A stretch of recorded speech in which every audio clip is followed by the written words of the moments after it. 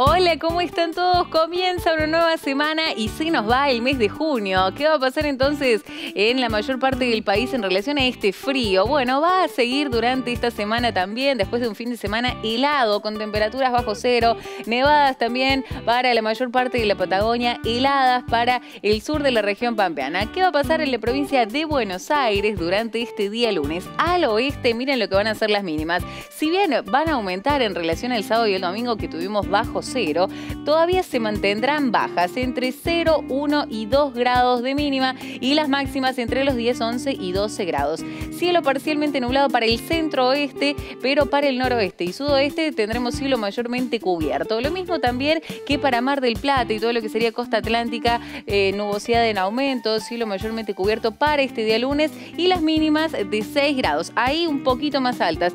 La máxima llegará hasta los 11. Capital Federal con cielo parcialmente parcialmente nublado, mínima de 5 y máxima de 13 grados. Lo bueno que para la tarde van a tener un poquito de sol, pero todavía se mantendrá el ambiente frío para el lunes y el resto de la semana.